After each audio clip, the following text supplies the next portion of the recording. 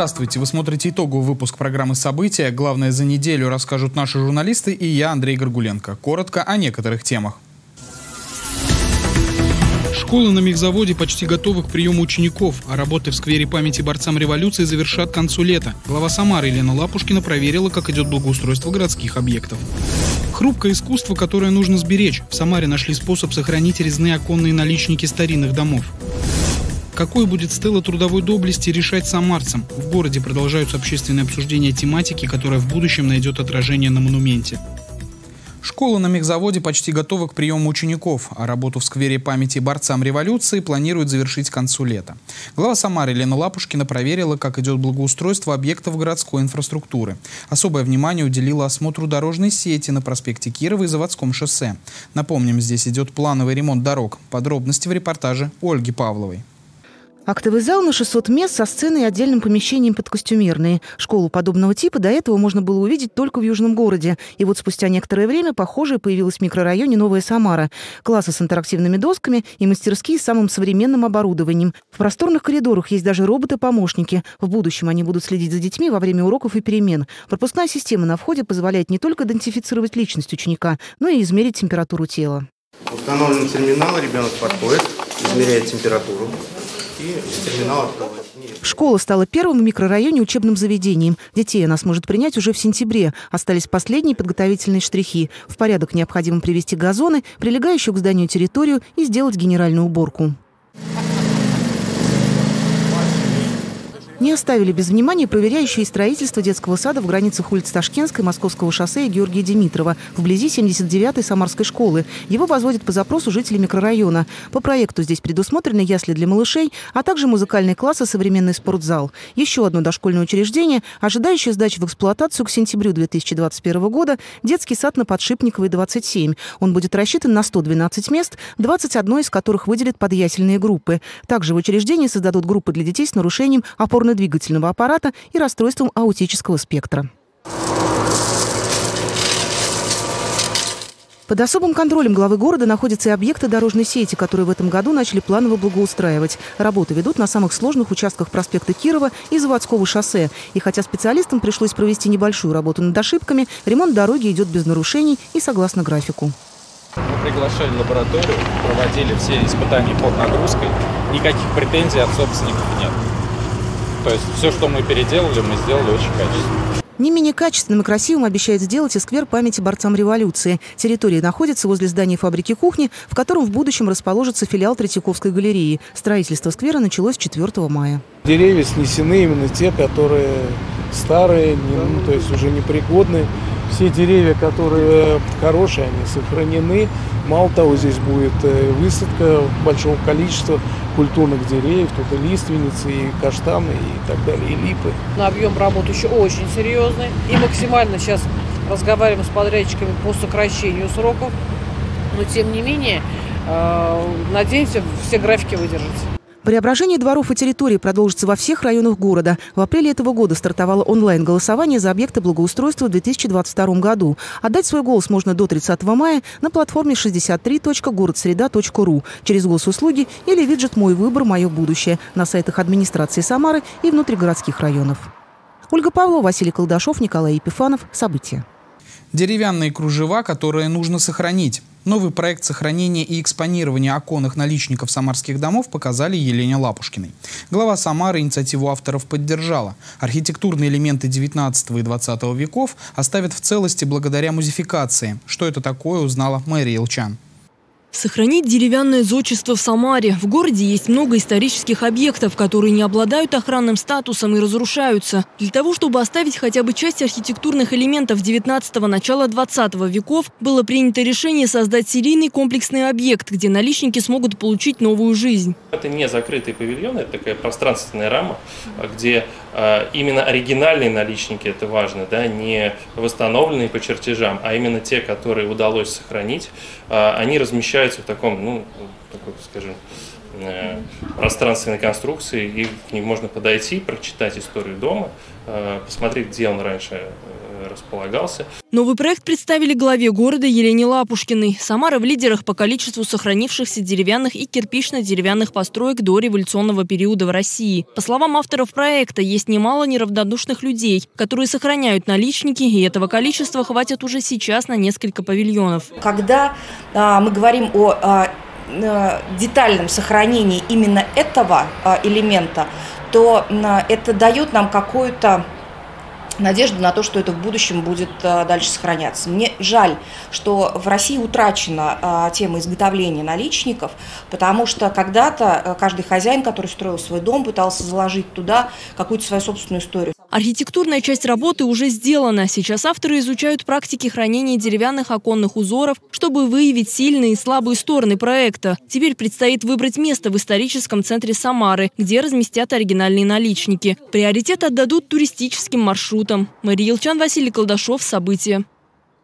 После трагических событий в Казани по поручению губернатора Дмитрия Азарова и главы Самары Лены Лапушкиной все образовательные учреждения проверили на предмет безопасности. С инспекцией на места выехала и наша съемочная группа. Три звонка, сигнал тревоги. Дальше все по многократно отрепетированному сценарию. Нужно следовать указаниям педагога. Так, ребята, внимание, пожалуйста. Встали, построились все. Сначала третий ряд, за ним второй ряд, за ним первый ряд. Замыкающая у нас Аня Кондратенко, она будет ответственная. Так выглядит план полной эвакуации. Школа 132, например, задачи справилась за три минуты. Если требуется эвакуация частичная, об этом объявляет в громкоговоритель и потоки всех классов разводят в обход заблокированной части здания. В школе заключены договора с частным охранным предприятием. Охранник в наличии тревожная кнопка, есть очень хорошее видеонаблюдение, а, исправный металлодетектор. А, кроме того, раз в три месяца мы проводим инструктаж с сотрудниками школы, а потом уже классные руководители обучают детей мерам безопасности. В каждом кабинете находится план эвакуации.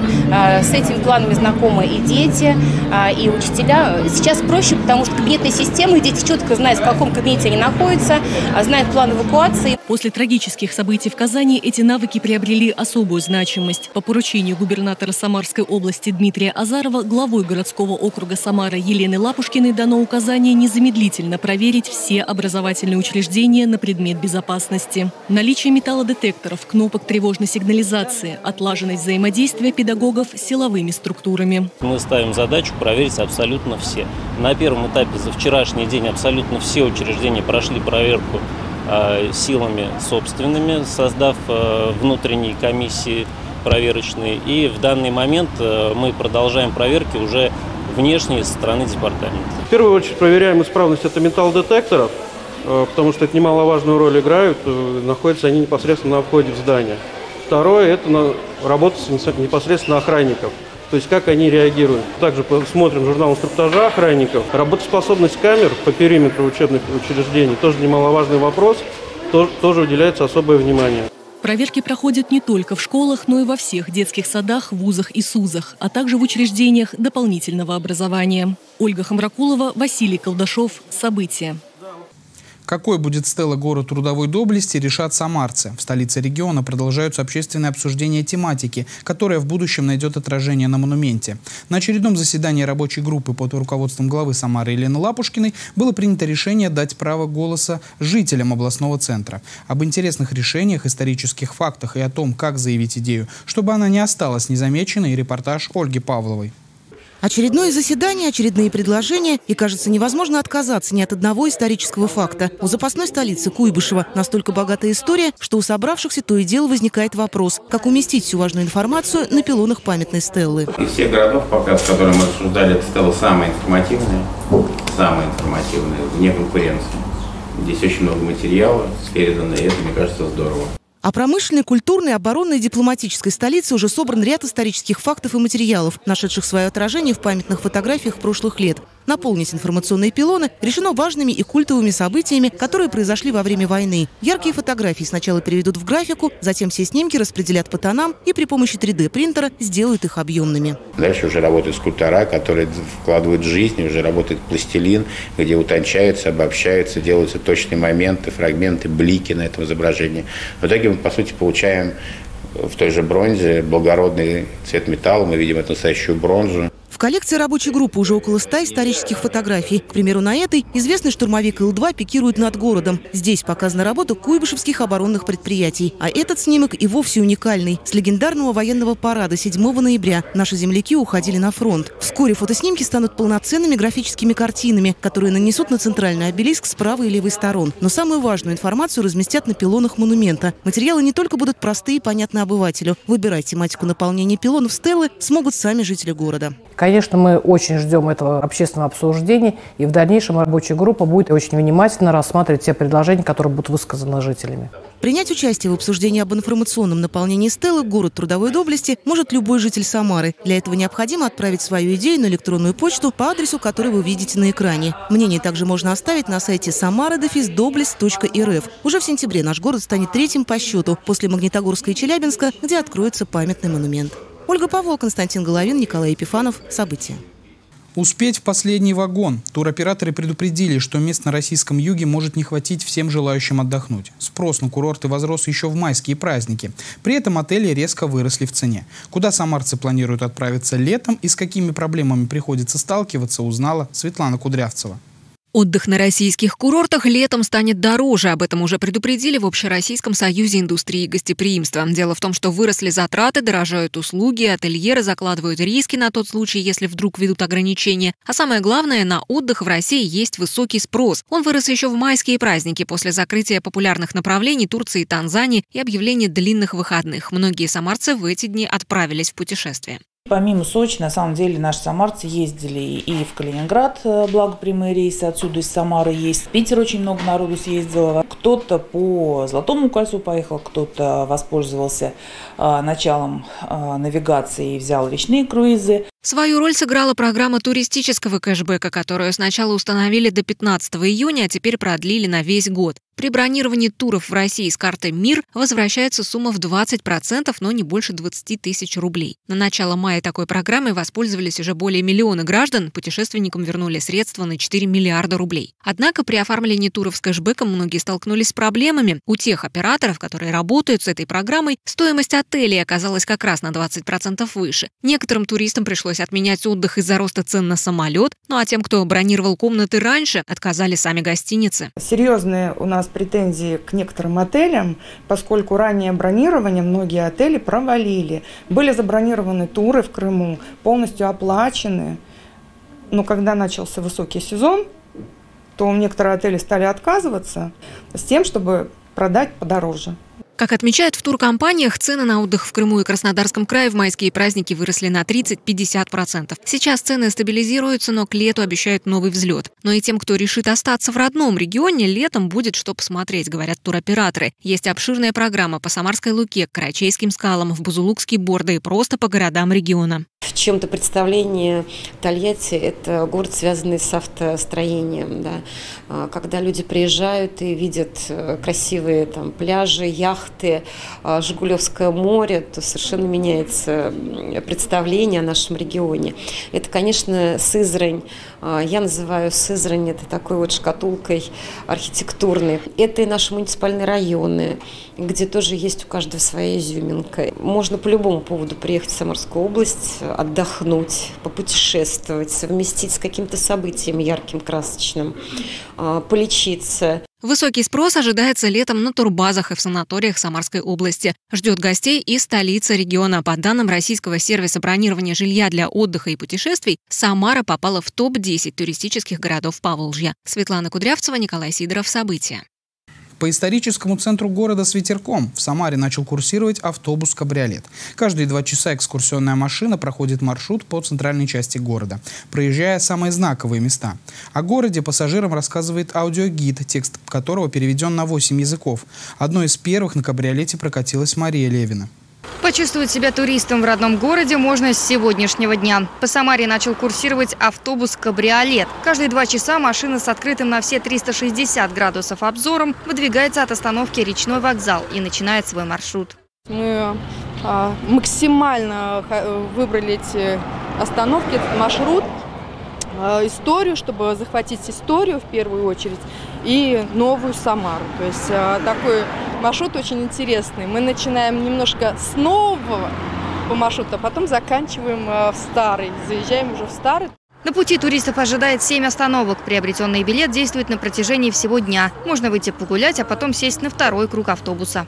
А я сяду в кабриолет и уеду не куда-нибудь, а на экскурсию по историческому центру Самары. Всего полтора часа из современного мегаполиса мы переносимся в купеческий город на берегу Волги. Это точно автобус, а не машина времени. Сопровождает туристов пути аудиогид. Текст переведен на 8 языков. Их выбирали исходя из статистики, судя по которой самыми частыми гостями Самарской губернии в 2020 году стали китайцы. На втором месте оказались европейцы, англичане, немцы и испанцы. И замыкают тройку лидеров туристы из стран арабского мира. Путешественников в Самарской области в прошлом году стало больше на 6%. В цифрах это почти полтора миллиона человек. Правда, в 2020-м приезжали в основном жители других российских городов. Большую роль здесь сыграла пандемия и закрытие границ. Самара с ее курортным побережьем Волги стала привлекательней для отдыхающих. Вырос и объем их трат на 30%. Гости города за 2020 год оставили здесь более 8 миллиардов рублей. Условия для привлечения путешественников создавались и региональным министерством. Отрасль, несмотря на этот сложный вызов, успела трансформироваться и создать те самые уникальные предложения для туристов, которые выбрали в качестве своих путешествий нашу родину. Создавались специальные тарифы на проживание в гостиницах и акции. И как итог, туристы стали не только чаще приезжать в Самару, но и жить здесь дольше. В среднем гости задерживаются в регионе на неделю. В этом году в Самаре готовят еще больше сюрпризов для туристов. Часть из них горожане уже успели заметить. Это прокат самокатов, которые в планах оснастить аудиогидами, благоустроить маршрут к горе Светелка и открыть второе направление на подходе к горе Стрельная. Этим летом Самара открывает свои границы, оправдывая свое звание города-курорта. Мария Левина, Николай Сидоров. События. Мусульмане Самары, как и всего мира, отметили один из главнейших религиозных праздников – Ураза Байрам. Он знаменует окончание поста, который соблюдали на протяжении месяца Рамазан, он же Рамадан. Как встретили Ураза Байрам в Самаре, увидела Гульфия Сафина. С первыми лучами солнца священный праздник Ураза Байрам объединил всех мусульман Самары праздничным намазом Гает. Впервые намаз проходит с соблюдением масочного режима, а большая часть прихожан разместилась за стенами соборной мечети. Первый день месяца Шавваль по исламскому календарю, согласно мусульманской традиции, является собой не только завершение строгого поста и возвращение к привычной жизни, но и торжество примирения, братства народов и спасения от ада. Сегодня у нас праздник. У постящегося пророк мир ему сказал две радости. Земная, когда все-таки человек встретился с едой, есть возможность кушать, и радость того, что перед Всевышним, когда придется отвечать за пост, за вот эту обязанность, предписанное деяние, он уже пройдет это испытание легко. С окончанием месяца Рамазан, он же Рамадан, самарским мусульманам передал поздравления и губернатор Дмитрий Азаров. В Самарской области на протяжении многих веков мирно живут и трудятся представители многих национальностей и конфессий. В связи с чем Ураза Байрам является неотъемлемой частью культурно-исторического наследия. В эти радостные дни желаю всем мусульманам Самарской области мира, добра и благополучия. Праздник Ураза будет длиться еще три дня. Согласно предписаниям Корана, это время мусульманам рекомендуется провести с щедрым сердцем. По традиции, после утренней проповеди и намаза принято раздавать милостыню садака и собираться за праздничным столом в кругу самых родных и любимых. Ассаламу алейкум, с праздником! Су Ураза Байрам белән сезне, сине, балаларны да Байрам белән. Светской жизни Дамир и Вероника Шагидулины прекрасно ладят современными трендами и готовы доказать, что соблюдение религиозных обычаев не проблема для развития. Обращение к традициям своей культуры и веры в молодой семье было единодушным. Праздник Ураза в доме отмечается с таким же размахом, как и Новый год, с национальными блюдами, подарками, шарами и цветами. Испокон веков э, там, и бабушки, и дедушки, э, мы к ним ездили, вот, э, приезжали в деревню, там, татарской деревню, там, э, с утра ходили в мечеть, праздничный намаз, и вечером уже э, всех собирали гостей, родственников. Конечно, это очень приятно. Для мусульман это вообще один из самых главных праздников. Это Курбан Байрам, Ураза Байрам. Это два самых главных праздника для мусульман. Гульфия Сафина, Николай Епифанов. События. Баскетбольная «Самара» бьет свои же рекорды. В этом спортивном сезоне клуб завоевал четыре награды. По две в мужском и женском баскетболе. Спортсменов, тренеров и обслуживающий персонал накануне поздравили с успешными результатами. Наш корреспондент продолжит. Стать чемпионом проще, чем защитить этот титул. Аксиома знакома каждому спортсмену. Вот и баскетболистам клуба «Самара» пришлось испытать это на себе в прошедшем сезоне. Мужская команда подтвердила звание сильнейшей в Суперлиге 1 национального чемпионата. Завоевала второй чемпионский титул. В довесок стала бронзовым призером Кубка России. Очень сложно что-то говорить адекватное, потому что эмоциональное завершение сезона, а сейчас как раз эмоциональная яма. Очень сложно играть, очень сложно доказывать. Но если ты идешь к одной цели 10 месяцев, то она и слаще из-за этого. Женская команда тоже выдала на гора. Дебютировав в Суперлиге 1 с первой же попытки, невзирая на авторитеты, завоевала серебряные медали. Вторая команда уже по уличному баскетболу также с первого раза заняла второе место в чемпионате страны. Второе место, я считаю, что это очень хорошее окончание для сезона. Да, конечно, как всегда хочется максимально золота. Поэтому, ну, сказать, что прям мы расстроились, нет. Да, хотели, не получилось. У меня, например, в семье много спортсменов, и многие, кто, например, за всю карьеру там мало медалей каких-то в чемпионате, грубо говоря, всероссийских занимал. Поэтому за меня только порадовались все.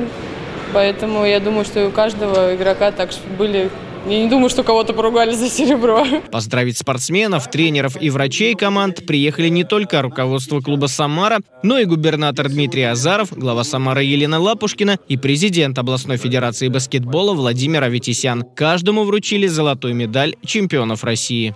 Хочу поблагодарить всех вас за этот замечательный баскетбольный сезон, который доставил столько радости поклонникам игры в Самарской области. Бились как львы. Поэтому с уверенностью смотрим будущее. Смотрим будущее благодаря тому, что на территории Самарской области создана правильная система подготовки баскетболистов. Вот не во всех видах спорта у нас такая система есть. Она какая-то по-настоящему народная команда. Да? Вот у нас все свое. Вот как на приусадебном участке. Тренеры, э, игроки, звезды. Потому что играют руками в баскетбол, но, как мы знаем, выигрывают головой, выигрывают сердцем. Руководство клуба пообещало руководству региона и федерации и дальше покорять баскетбольные вершины как всероссийского, так и международного уровня. Сергей Кизоркин, Николай Сидоров. События. Крылья Советов уступили в финале Кубка России по футболу. Матч проходил на стадионе в Нижнем Новгороде, построенном к чемпионату мира 2018 года. В городе организовали отличный прием гостей и сделали прекрасный футбольный праздник. Эксклюзивные кадры перед игрой и после финального свистка нам предоставили коллеги с ННТВ. Дух чемпионата мира по футболу вернулся на пару дней в Нижний Новгород, который принимал финал Кубка России. Город оккупировали поклонники крыльев и локомотива, легко отличимые в толпе своей атрибутикой. Перед стадионом, как и в 2018-м, выступления артистов и разные развлечения. И самое главное – надежда в глазах фанатов на победу любимого клуба. Они хорошо идут на самом деле. Они вышли в вышку, поэтому я думаю, что Локомотив последние матчи подсел. Надеюсь, что выиграют. Атмосфера просто офигенная. На самом деле у меня сегодня все друзья собрались из разных городов. Мы все консолидировались просто в одном месте. Мне очень приятно здесь находиться в вашем очень уютном городе Нижний Новгород. Так же, как и во время чемпионата мира, для тех, кто не попал на стадион, была организована фан-зона, где транслировался матч. А вот те, кто урвал желанный билет, смогли вживую насладиться потрясающим матчем. Матч самарцы начали активно, создали несколько моментов у ворот соперника, но счет открыли москвичи на 14-й минуте. Фрунсуа Камано воспользовался ошибкой волжских игроков. Но крылья быстро отыгрались, идеальную комбинацию завершил Сорвели. До перерыва счет не изменился, хотя в концовке самарцы могли забить, но железнодорожников спас голкипер Гилерми. В начале второго тайма арбитр назначил пенальти ворота крыльев. 11-метровый реализовал Федор Смолов. Отыграться еще раз волжане не смогли, а ближе к финальному свистку пропустили и еще один гол. На 84-й минуте Серкейра Мурилла после подачи с углового переправил мяч в сетку. После игры организаторы представили красивую церемонию награждения. Стадион был подсвечен цветами победителей, а на поле было спроецировано лазерное шоу. Андрей Горгуленко. События.